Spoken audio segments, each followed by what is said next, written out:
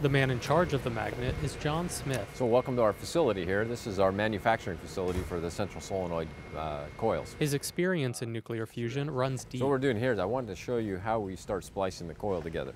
He took his first job in the field fresh out of undergrad. So almost 22 years I've been working in fusion. In his line of work, fusion is a kind of holy grail. Fusion is the same energy that powers our sun. In theory, it could generate nuclear power anywhere in the world without a constant stream of radioactive waste. And a fusion reactor is intrinsically safe. And there's no carbon, right? So it's a very clean source of energy from that, and it's uh, almost completely renewable. So put the conductor through. Engineers at General Atomics have been experimenting with fusion for half a century. So you got the joggle all set? But now, Smith and his team are part of a major international effort to prove fusion can actually power the world. It can be done. Today, they unveiled the beginning of work on a magnet over four stories tall, designed to go right into the heart of a giant fusion reactor in the south of France. It's all part of a 35 nation project called ITER, Latin for the Way. Together, we will bring the power of the sun down to Earth. The big picture goal with, with fusion is to replicate what happens on the sun. Fusion fuels our sun by forcing atoms to overcome their natural repulsion. Existing nuclear power plants produce energy by splitting atoms, but fusion would do the opposite. You're heating them up so much that they come together Fusion would give off two byproducts, helium and highly energetic particles that could be harnessed to create electricity. Smith says the challenge is two atoms don't like to fuse together. You got to force them together, and that's what we're trying to do with the temperature. The magnet, along with other heating systems, will help bring two hydrogen isotopes up to extreme temperatures 10 times hotter than the sun. 150 million degrees. It'll do that by driving current through a plasma magnetically confined within the reactor. Building a magnet that powerful requires nearly 24 miles of conducting cable manufactured by engineers halfway around the world. This is a spool of conductor as it came from Japan.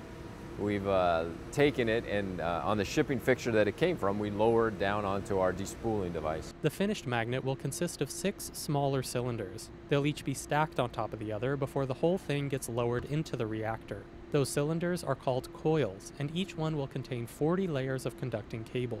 This machine creates those layers by winding the cable into precise concentric spirals. So this is the first layer of the first production coil that will go to ITER. Once the coils are tightly wound and perfectly welded, they'll each weigh in at 250,000 pounds. That's too heavy for even this massive crane to lift. By now, the only way to move them around is on this heavy-duty cart, which creates a cushion of air. The simplest way to explain it is an air hockey table turned upside down. So instead of blowing air up to levitate a puck, we're actually blowing air down and levitating the coil. These coils will have to withstand extremely cold temperatures. They'll be chilled to nearly absolute zero once they're inside the French reactor. But first, they need to bake inside this furnace for five weeks at 1300 degrees Fahrenheit. So this here is a big convection oven. Very simply put. All that heat forges a superconducting material capable of circulating electricity with no energy loss.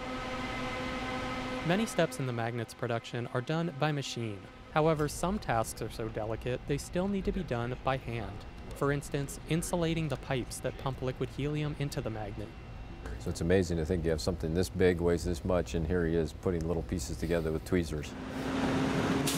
It'll be 2019 before Smith and his team ship the final piece of the magnet off to France. And it'll be 2040 before ITER paves the way for a demonstration plant aiming to actually pump fusion energy into the grid. Some experts believe even that timeline is optimistic. ITER has been notorious for cost overruns, delays, and management problems.